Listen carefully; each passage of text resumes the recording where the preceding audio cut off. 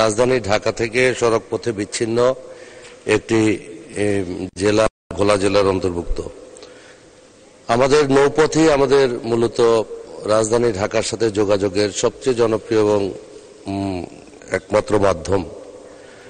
যার কারণে আমাদের আমার লালমোহন উপজেলার নাজিরপুর যে টার্মিনালটি আছে, শীতের সময় এই টার্মিনালে ছোট খালের মধ্যে আমাদের লঞ্চগুলো প্র- প্রবেশ করে এবং টার্মিনালে আসে।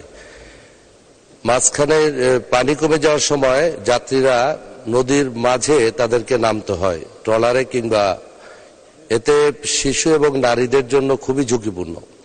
এই অবস্থায় আমি মাননীয় নৌ পরিবহন মন্ত্রী মাধ্যমে জানতে চাই যে আমাদের কালায়ার সাথে যদি এখানে একটি ফেরির ব্যবস্থা করা যায় এবং আমাদের যে উৎপাদিত ফসলগুলো এগুলো ভোলা দিয়ে যেতে হলে প্রায় সত্তর মাইল আমাদেরকে বেশি পথ চলতে হয়।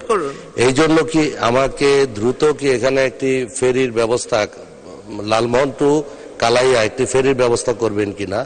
ধন্যবাদ মাননীয় সদস্য মাননীয় মন্ত্রী। মাননীয় স্পিকার আপনাকে ধন্যবাদ। মাননীয় সংসদ সদস্যের প্রশ্নের উত্তরে বলতে চাচ্ছি যে লালমোহন থেকে কালায়া পর্যন্ত যে আপনারা ফেরিটা চাচ্ছেন, এটার ব্যাপারে আমি নৌ পরিবহন প্রতিমন্ত্রীকে আমি অবগত করব আমার দৃঢ় বিশ্বাস আপনাদের এই সমস্যাটা আছে সেই সমস্যাটা সমাধানের ব্যাপারে উনি উদ্যোগী, উদ্যোগ গ্রহণ করবেন। ধন্যবাদ মাননীয় স্পিকার। ধন্যবাদ মাননীয় মন্ত্রী। তারকা চিহ্নিত প্রশ্ন ছয়শো